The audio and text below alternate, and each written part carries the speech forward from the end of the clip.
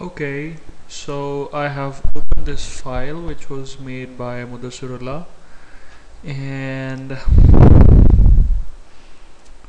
yeah in this he has made a part and then has actually sectioned it in three sections. Uh, two of them are base metal and one is the heat affected zone or, or the weld nugget zone and then he has defined a crack in, in the weld nugget zone and um, then he has actually used everything. Now if I want to if I want to apply residual stresses in, in the area here which which let, let, let me show you. Um, um, yeah this area what I have to do is I have to go in the predefined fields and in predefined fields I have to select the step initial. And in mechanical I can see velocity, stress, geostatic stress and hardening. I have to select stress here. I have to press continue. I'm doing this again. And then I have to select this area. And then I have to press done. And then I here I can apply the stress in any direction. This is what we did before. For example if I want to apply uh, 200e minus 200 MPa and then I want do not want to apply in the, any other stress and that's okay. The options might not be here if you have not defined a static general step here.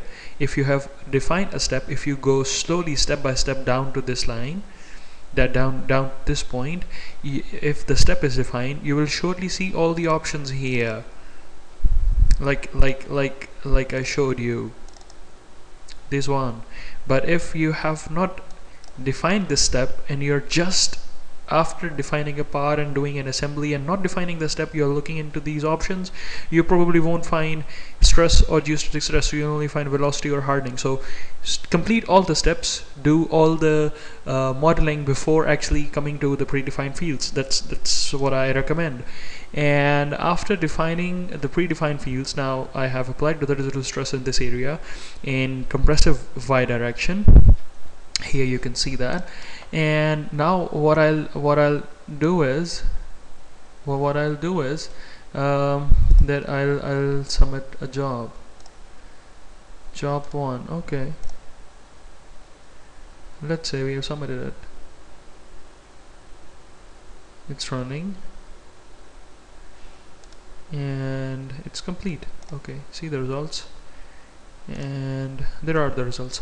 Because uh, um, instead of the crack opening the crack has actually close together. And this is probably because I applied the residual stresses here. So you can see the effect of residual stresses on this area. So so this is a verification that the residual stresses are working. Now the residual stresses are working in this area but the crack probably didn't open because because our applied load here was less than the residual stresses which were in this area. So let's go back once again and increase our load let's say oh yeah it is it is really less. It is 1 MPa let's increase it to 1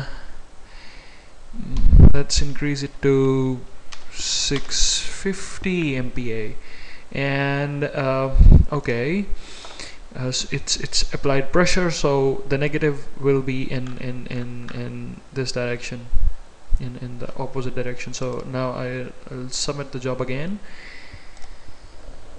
hmm let's see. Running. And it's it's completed okay. That's good. I've got a really nice computer here. Okay so now you can see that although there are residual stresses here but the crack has opened up. And now the simulation is not really good the mesh is not really nice but but we just want to post process the results. Um, um, so there are residual stresses in this area and the crack has opened because we applied too much stress here. Um, so now what we want to do is that we want to uh, actually see that if if the problem has been magnified. So the first thing we want to do is options common and see yeah you can see here that that uh, the deformation scale factor. The simulation has been scaled up to 6.3 times. I can actually scale it down to like it was actual. And now you can see that uh, after actual scaling this is what after applying this much stress on here and and these properties this is what we will see. And um, if we want to find out what is the uh, uh, crack opening here crack mouth opening what we can do is you can use the tools query distance command here. I can select this first point here and second point here and it will give me a distance between these two nodes. You can see it here. Uh, let me increase it a bit. Yeah this is the distance between two nodes and you have to look at this. The overall magnitude is 7.76 whatever the units of the deformation were and um, um, yeah in x direction it is this much and in y direction this is this much but but I recommend that you always see the deformation distance unscaled unscaled and magnitude. And it actually gives you a displacement vector between these two points. What is the distance between these two points okay? And the next one the, ne the next thing we want to do is that we want to see that what is the value of j integral at at the crack tip. One way to do is to plot xy data of history output of the fifth contour and plot it. And there you will see a small point the point shows the energy release rate here. Here this is the value. For example it is like uh, 5 12 5 13 so some something like that.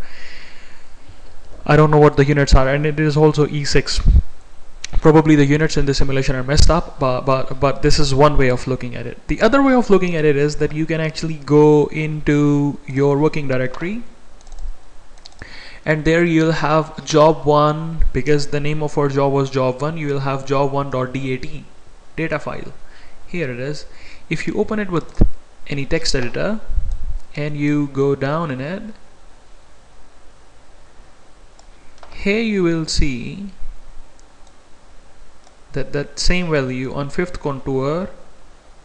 For the crack one on fifth contour you, you will see this value this is the value of j integral on on the crack tip these are two ways to see it. Okay and if we if uh, now there are many ways to actually um, um, see the output.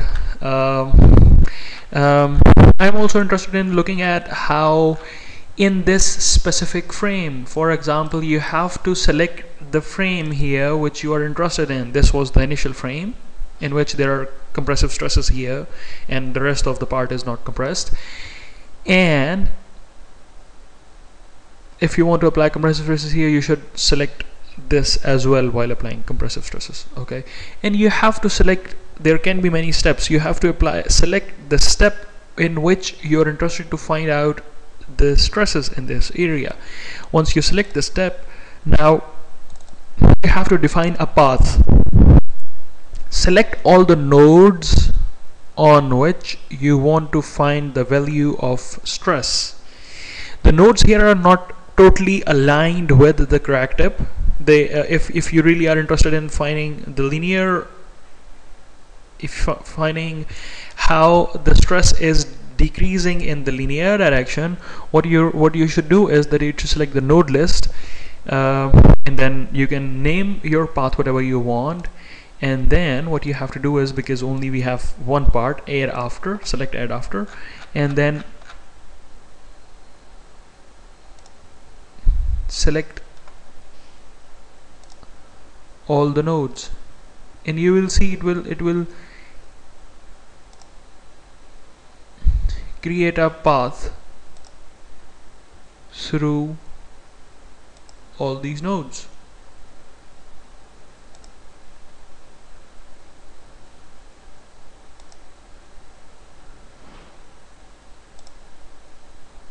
see? So it is drawing a line on these nodes.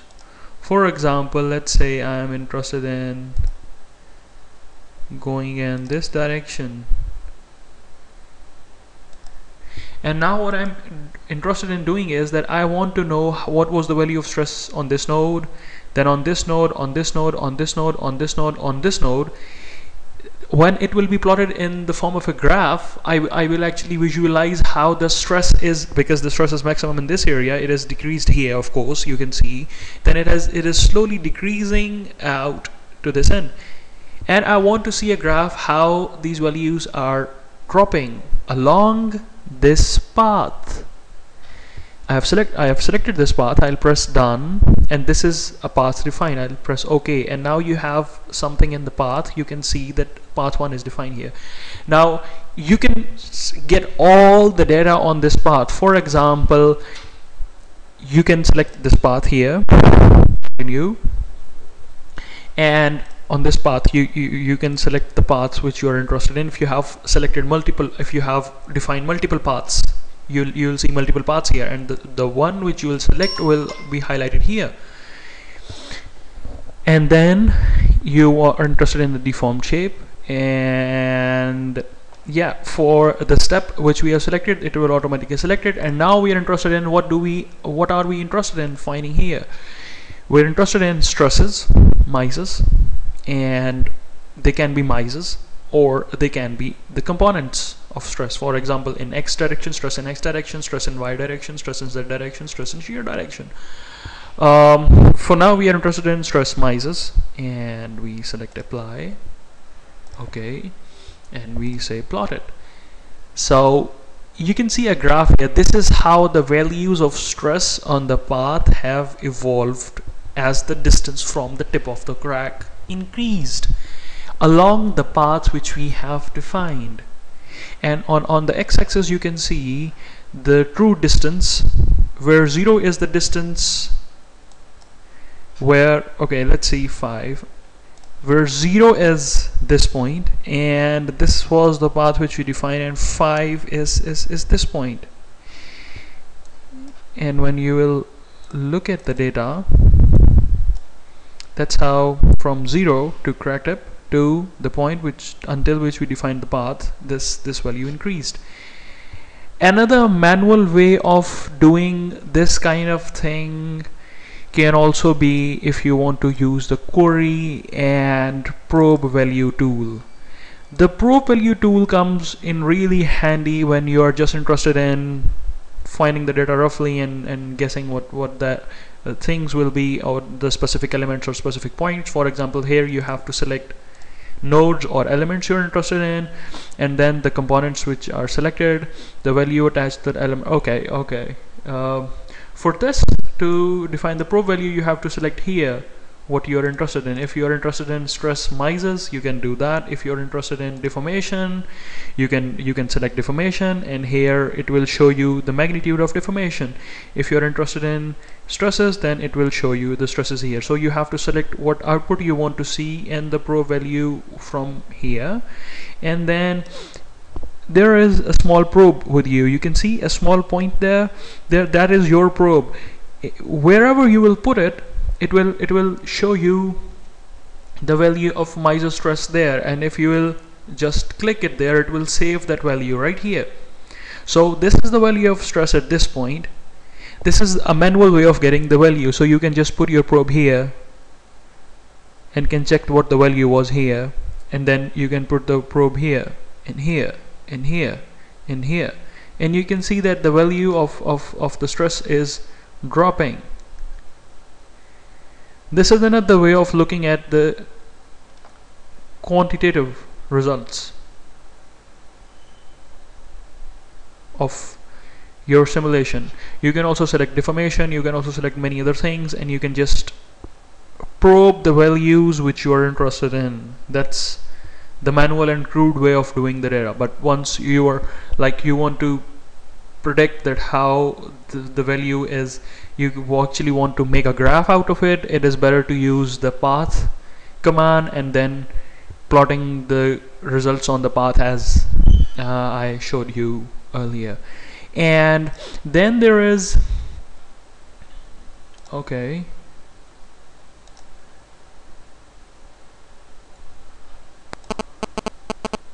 Okay it is not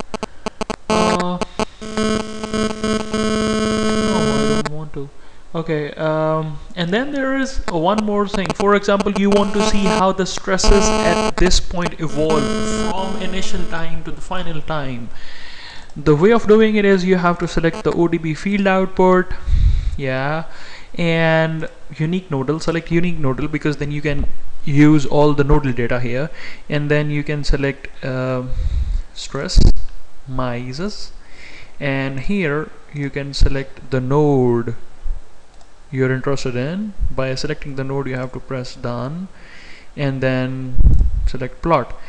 And this was the stress mises stress on our selected node at zero time. And this is the value of mises stress on our selected node at one time. If there were intermediate uh, step times we would have obtained multiple points here but but we have only one point here and one point here and it is just plotting a line between it to show you how the stresses on this point actually evolve with time but actually it didn't calculate anything in between. So that's that's what the results are like. Um, um, yeah and this is the deformed value uh, I don't know what else I can show you. The value of J integral yeah. That, that's probably it. If you want to know anything else you can just put on the queries and I'll try to answer uh, about the post-processing of the results as much as I can. But it majorly depends on how the user uh, wants to post-process his results and there are literally thousands of options available here uh, by which means you can post process your results. And you can also get the data from here and then for example you can uh, apply operate on XY data by using all these functions here. You can actually take log of the values at this point and then plot them and, and, and, and many things many things like that. That totally depends on what the user wants the output from and only that's how they can mm, that's only then we, you will know that what type of results you want to get. Okay um, see you guys later. Bye